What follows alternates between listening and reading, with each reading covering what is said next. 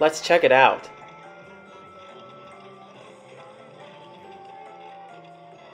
Wait, what? Why is the tint color not red for CRT TV? Oh no, what are we gonna do? Don't worry, Chuck E. Cheese employee will fix that tint color. Yeah, I know, but how? But how are we going to fix that tint color? Well, maybe Chuck E. Cheese employee will fix the tint color. You want to see it again? Okay, but I still had to look at it.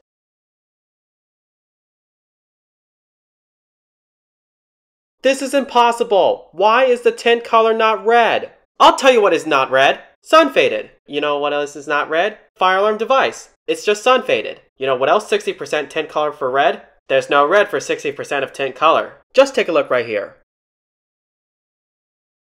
See that? It's just only a tint color. You can change the tint colors for red and green or anytime or anywhere. See that? It's just 60% color of red. See? Red turning pink. It's just only feminine, like women's color or female color. Oh, that won't be necessary about this. Quick, play a thing.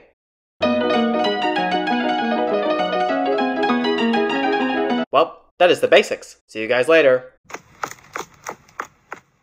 What am I gonna do? All I know is how to change that tint color. But how are we gonna do that? Oh, I get it. This is why you have to use your remote to change the tint color. You can change the tint color to red or green. Wait, you mean the right side? This is called Sony CRT TV? Yes, right here. Now let me change it back to normal. Okay, so this is where it used to be. Let's change the tint color back to normal right now. And there we go. Done. Let's check it out.